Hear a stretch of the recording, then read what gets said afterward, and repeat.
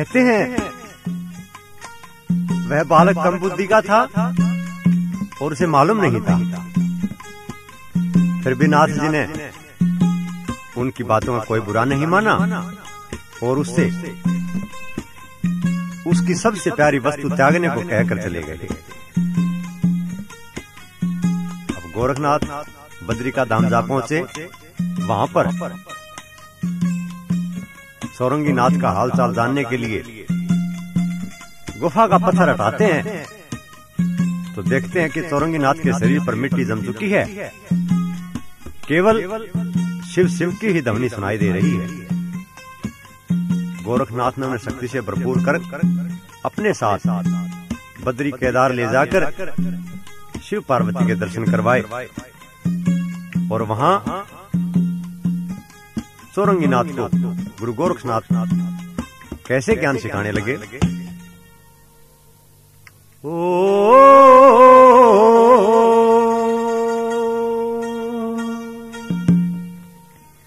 वो नाथ चौरंगी ने वेद्या का अभ्यास करावण लागे जी बाग पुरब ले जाएगे जी।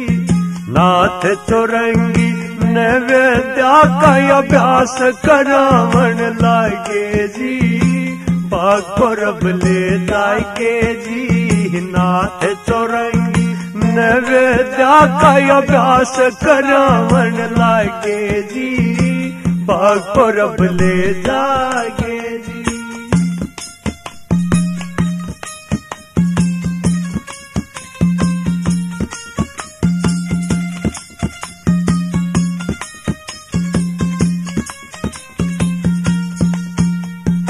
अस्तर वेदा शखा दई फिर शस्त्र विद्या आएगी।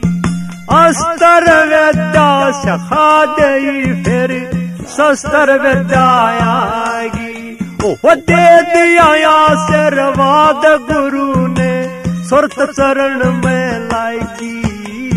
नाथ चौरंगी ने विद्या का अभ्यास करावन लागे जी।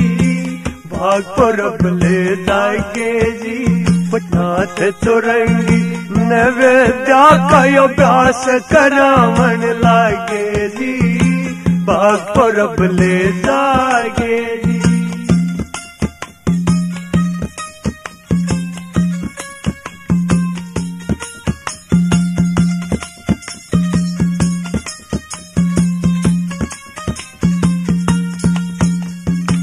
महीने तक ठहरे वहाँ पे खुद ने निपुण बनाया।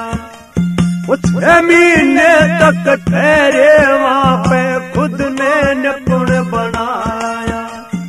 योग की विद्या पास करी फिर सफल मनोरथ पाया। नाथ चुरंगी ने विद्या का अभ्यास करावन लागे जी। बाग परब ले जागे जी। नाथ चौरंगी नवेद्या का अभ्यास करावन लागे जी। बाग ले जागे जी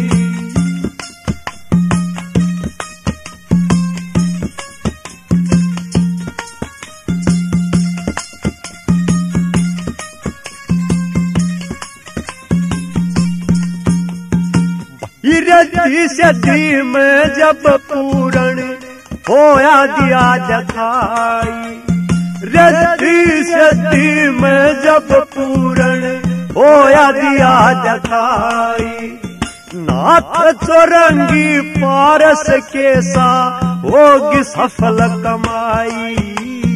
नाथ चौरंगी नवेदा का अभ्यास करावन लागे जी।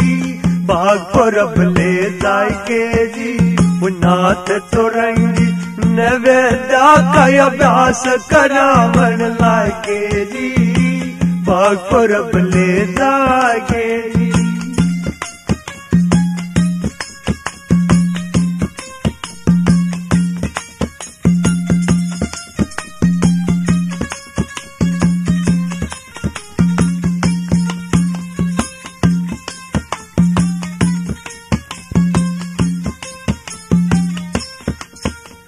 सेवा करके ज्ञान कमल संग भोक को कर ले ले। सेवा करके ज्ञान कमल संग भोक को कर ले ले। अग्न परीक्षा में जो लकड़े वे पूर्ण चले। नाथ चोरंगी नवेदा का अभ्यास करावन लागे जी बागपुर बले जागे जी नाथ चोरंगी नवेदा का